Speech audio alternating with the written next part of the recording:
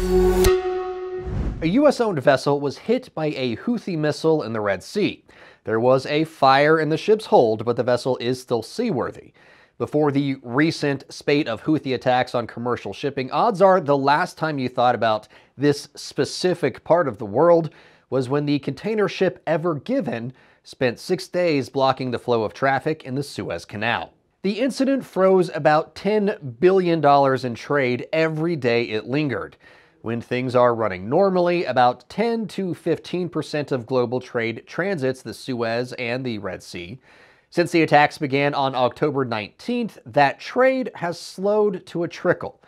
While that's not good for many parts of the world, Dr. Wes Boyce, an assistant professor in the Department of Supply Chain Management and Analytics at the University of Nebraska, says Americans should not be overly concerned about the impact in the U.S very important. And as a percentage, I would guess high single digits or even in the teens of what might go through there.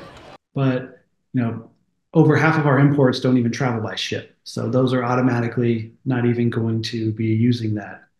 Um, a lot of our imports go to West Coast ports. So again, that's not going to go through the Red Sea or the Suez Canal either. Of course, that doesn't mean there's no cause for concern continued disruption of those shipping lanes could eventually have something of a ripple effect on American consumers. But Dr. Boyce says that's not something that would show up immediately. The impact we're seeing here is surging cargo prices, shipment delays, increased costs of insuring for carriers. So, you know, we have a lot of problems that are starting to build. And you know, even if this gets solved tomorrow, know, it's going to take a little bit to work all this out. You think about a traffic jam on the highway.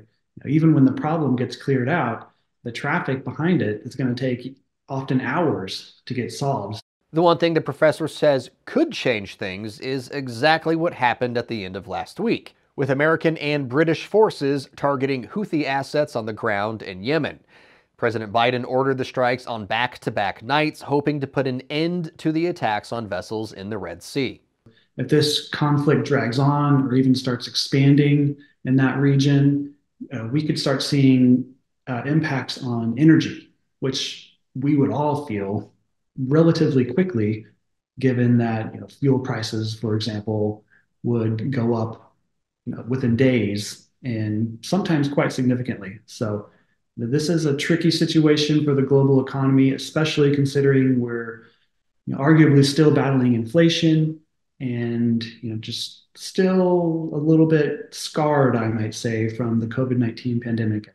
The U.S. Air Force Central Command says coalition forces hit more than 60 targets at locations all across Yemen. For their part, a Houthi spokesperson said the airstrikes would not deter them from more attacks, which is clearly still the case.